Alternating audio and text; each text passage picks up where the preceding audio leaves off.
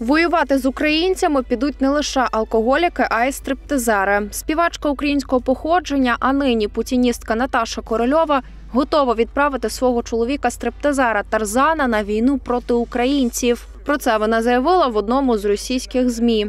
За словами путіністки, її чоловік 52-річний Тарзан є офіцером російської армії. Він підпадає під мобілізацію, проте за віком не проходить.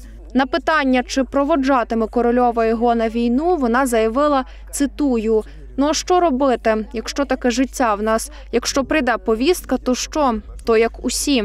Додам, що Тарзан активно підтримує Путіна й армію Росії після звірств окупантів Бучі. Тарзан записав відеозвернення, у якому заявив, що ніколи російський солдат не заплямується таким брудом.